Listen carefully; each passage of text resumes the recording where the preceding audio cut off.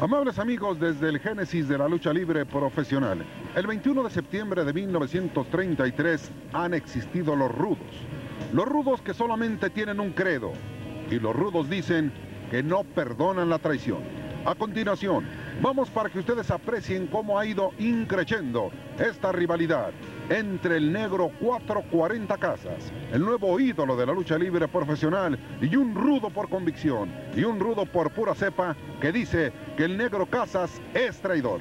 Es el calificativo que le da a este hombre que trata de demostrar que en el bando de los técnicos puede ser el ariete que convenza que los rudos no sirven para nada. Esta es la historia.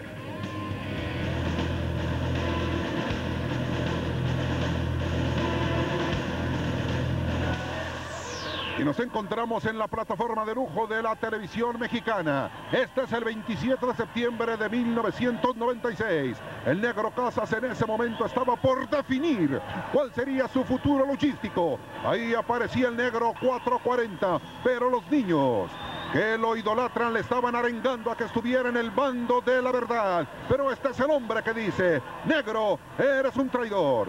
Y la bestia salvaje natural de Guadalajara, Jalisco, México, pedía el apoyo del respetable. Y la gente le decía al negro 440 casas que demostrara que estaba en el bando de la verdad. Aquí es una demostración de lo que es el talento de por qué el negro 440 casas está en el bando de la sabiduría. Está con los que sí saben gladiar. Este era el momento climático de esta primera parte, de esta primera fase de una enconada rivalidad. Pero esto, señoras y señores, no terminaría aquí.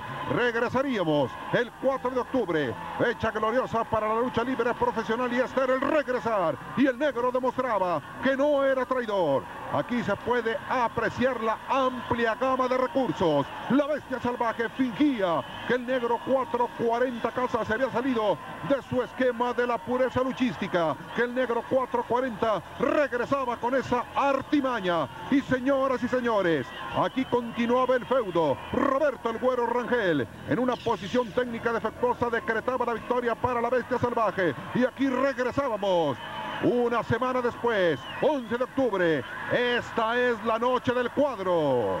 La noche en donde salía cortado de la parte superior de la ceja izquierda. Este que es la bestia salvaje de Guadalajara, Jalisco. Aquí tenía el negro 440 casas muy cerca de Armandito Vázquez que implementar una ofensiva ante el hombre que dice que nunca le va a perdonar que sea traidor.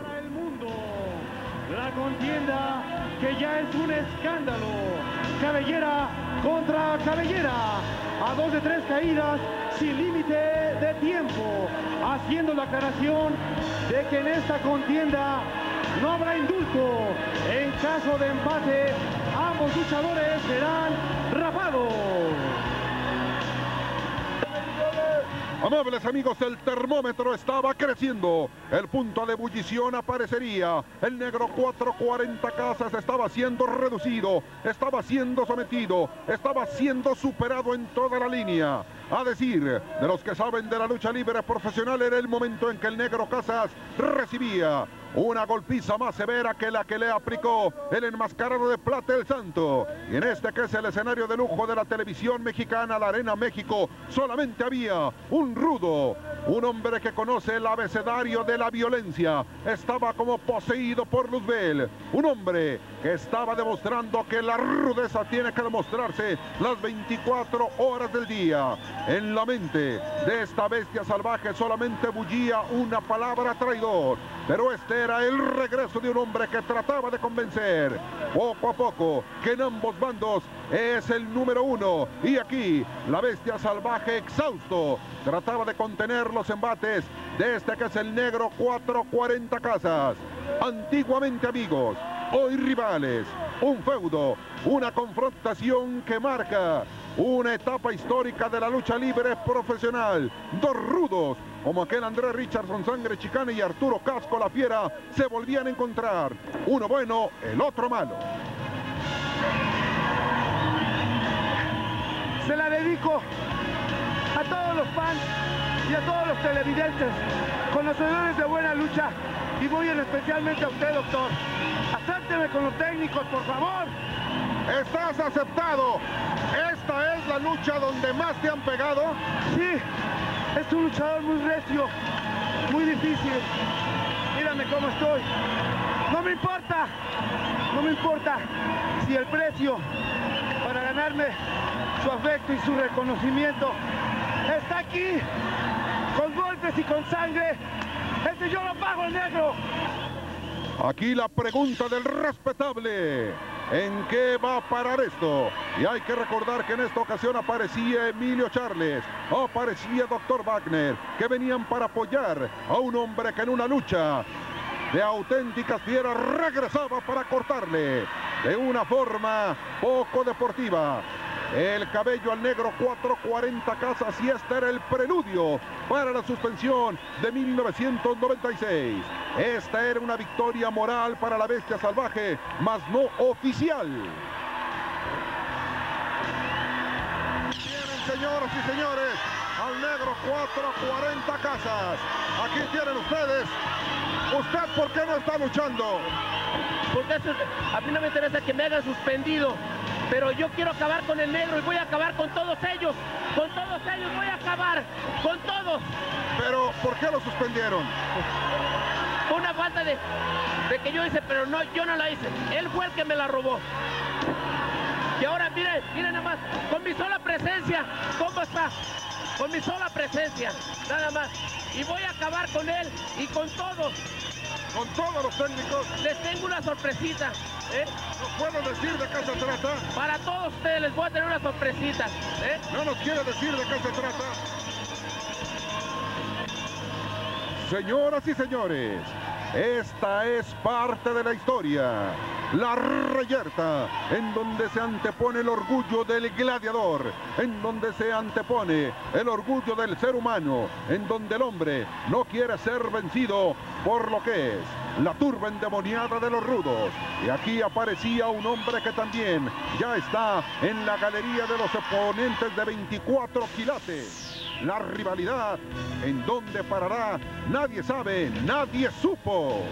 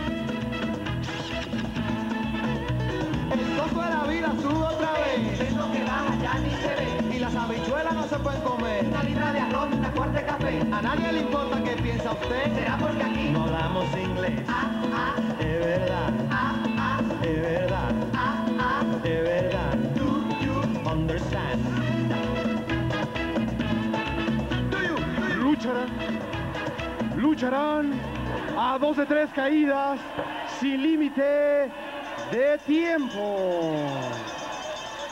Arriba del cuadrilátero se encuentran el rudo de la televisión, Felino, el excombatiente del Vietnam, Rambo. Como capitán, el veneno letal, Scorpio Junior. Abajo del cuadrilátero se encuentran el Hércules Poblano. Fiera. Super Porky. Brazo de plata. Como capitán, el carismático negro 440 Casa. Empieza tambor batiente. La postal hermosa de la Arena México, Catedral de la Lucha Libre Profesional. La ocarina que suena, inicio de hostilidades. Lo hicieron antes, doctor Alfonso Morales. Claro que sí, señoras y señores. Verdaderamente sorprendente. Aquí tienen ustedes en este que es el pasillo. Aquí tienen a estos gladiadores. ¿Qué tal parece? ¿Qué tal parece que ya no quieren nada? Mientras tanto, vámonos para que conozca usted lo que son los antecedentes, lo que forma parte de la historia.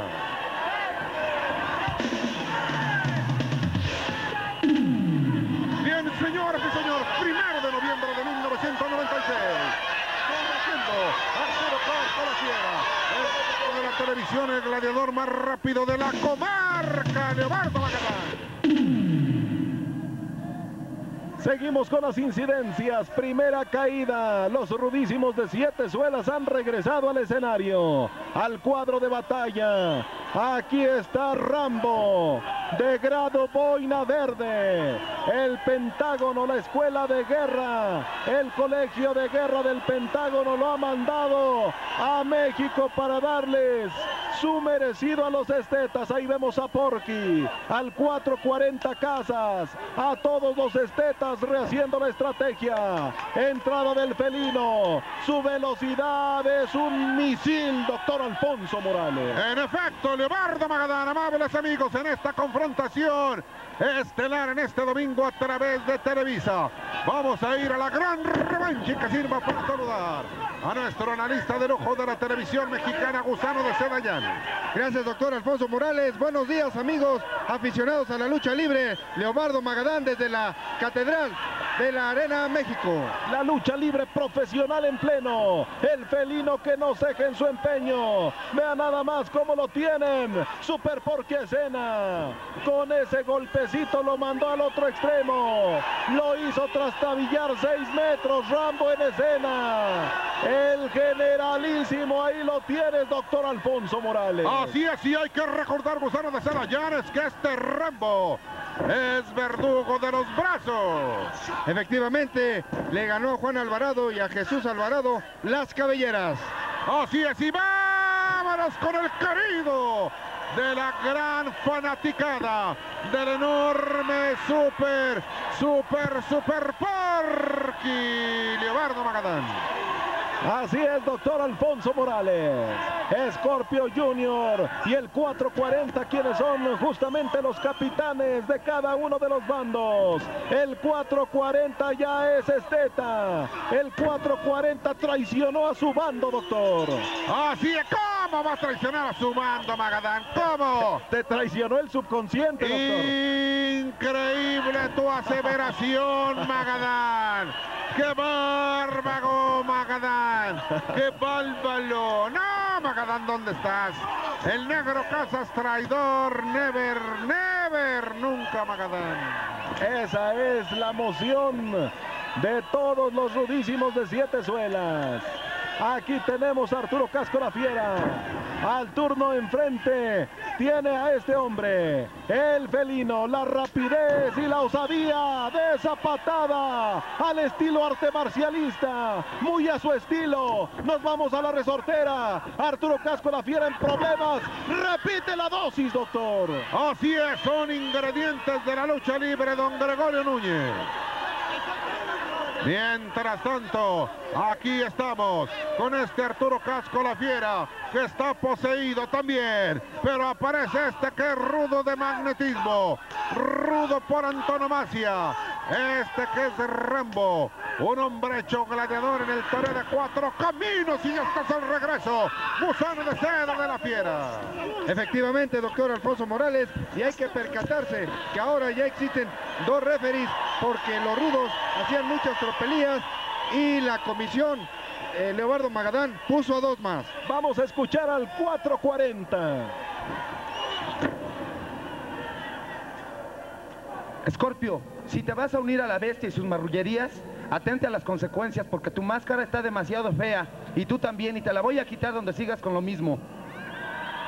Aquí los tienen, Magadán. Esta es la advertencia del negro 440 Casas. Es verdaderamente sorprendente, pero te voy a rogar, Magadán, por el afecto que te tengo, no le vuelvas a decir traidor. Es un traidor, doctor. Todos los rudísimos tienen ese punto en común.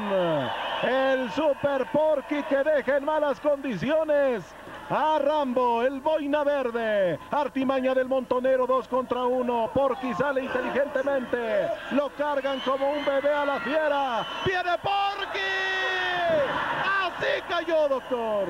Así y están planchando al rudo de la televisión, al generalísimo Rambo, y diría el inmenso Luciano Pavarotti, finita la obra, mio carissimo Leobaldo.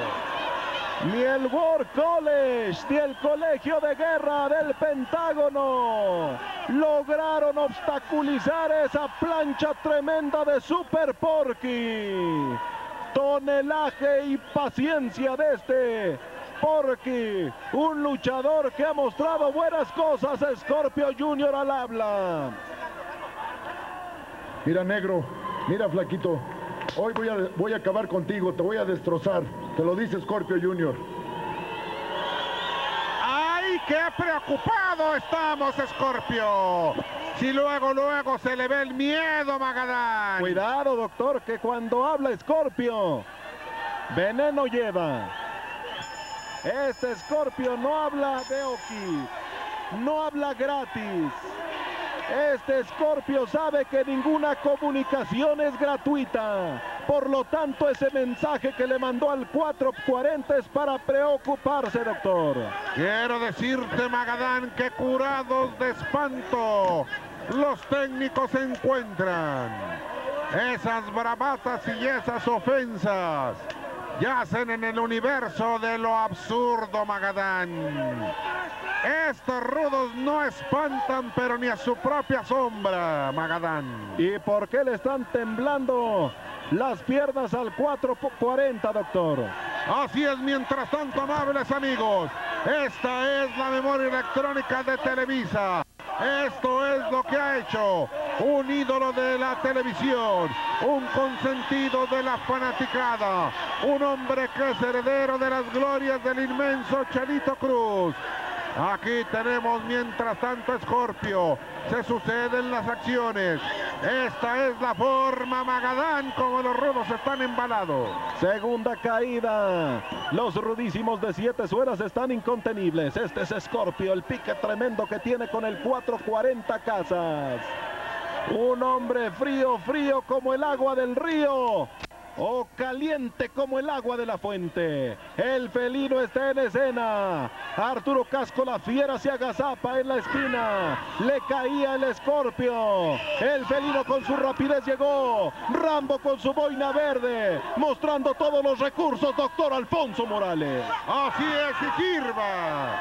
Para mandarle un saludo al jovencito Alonso Rivero Ruénes seguidor de la mejor lucha libre del mundo. Y lo que son las cosas. Alonso le van los rudos, Magadán. Me quiero morir, por Dios. Lo mismo que otro jovencito llamado Adib, las patadas que prosperan. Rambo llega, vea nada más cómo está sucumbiendo Arturo Casco la fiera. Super Porky en escena, le cae a Alibaba y los 40 ladrones. Peligro, SOS, SOS para los técnicos, doctor. Así es, pasada de frente directamente sobre Super Porky. Cuando me está llegando un fax. Gregorio Núñez es rudo. Notariado el fax. ¡Qué bárbaro! ¡Qué bárbaro, Gregorio Leobardo! Sí, es rudo hasta en la forma de andar este Goyo Núñez. Como le decimos, como le decimos cariñosamente. Aquí nos vamos a la escena. Artimaña del Montonero, entrada del 440. Está entrando decidido. Ninguno de los referees está aplicando el reglamento. Vamos a ver de qué cuero salen más correas. El 440 que no acierta a entrar a la batalla. Este es Scorpio. Scorpio lleva la mejor parte, sorprende al 440. Nos vamos a la resortera y te los dejo, doctor Alfonso Morales. Y quiero decirte, Magadán, que también tenemos información vía internet de que Toño Rivera y su pareja, Raúl García También son rudos. Y vámonos, vámonos, Magadán. El 440 rompiendo la máscara, infringiendo en el reglamento, sacando lo rudísimo que lleva en el inconsciente. Le caen los dos rudos. Artimaña del montonero Super Porky parece que puede con ellos, pero se resiente, doctor. Así es, que lucha, que enorme confrontación. Arturo Casco la fiera. Aquí lo tienen ustedes cuando aparece el ídolo super, super, super Porky Magadán. Está en grande cuidado. Está planchando a los rudísimos de siete suelas. La patada al estilo arte marcialista. Por parte de la fiera. Este Super Porky con todo y su tonelaje, doctor. Así es, entregándose. Y vámonos con esta que es la silla vacía de Arturo Casco la fiera. Un hombre que se lastima muy cerca del monitor. Cuando estamos contigo, Leonardo. El escenario listo. Los capitanes en jefe están eh, definiendo esta caída. La plancha quedó próspera por parte del rudo. Aquí viene con el enredo. Lo lleva a la casita. ¡Ay, espaldas planas! Hombros lona, tres segundos. ¡Tres segundos! Y han ganado los estetas, doctor. Normal, mi Leo, normal. Es noticia, doctor. Rara vez ganan. Como rara vez ganan, este es ya la religión de la victoria, Magadán. Pero- La gente se les entrega, escucha nada más. Eso en el papel, doctor. Muy pocas veces lo aplican en el cuadro de batalla. Scorpio Junior, que está furioso. Aquí los problemas de comunicación que tienen estos hombres. Vamos a ver, levantando la mano en todo lo alto. Han ganado los que han hecho mejor el trabajo. Gusano de seda. Efectivamente, Lobardo Magdán. Vamos directamente al vuelo de este gran luchador, de José Alvarado Nieves, bien conocido como Super Porky. ¿Qué movimiento? Aplica todo su cuerpo. 140 kilos de peso en el aire. Pobre felino porque sí lo llegó a lastimar. Ahí tenemos a Rambo, Scorpio y al felino, todos lastimados. Y aquí, esta horqueta, la silla vacía. Doctor Alfonso Morales, con usted el micrófono. Así es. Mientras tanto, amables amigos de Televisa, estamos en el momento, en el momento en que Arturo Casco la fiera. Y vámonos rápidamente con el negro 440 casas. Es cierto, es cierto que ya no le espanta las bravatas de Scorpio. ¿Cómo me van a espantar? ¿Cómo me van a espantar, amigo? Con una gente como este gordo de oro.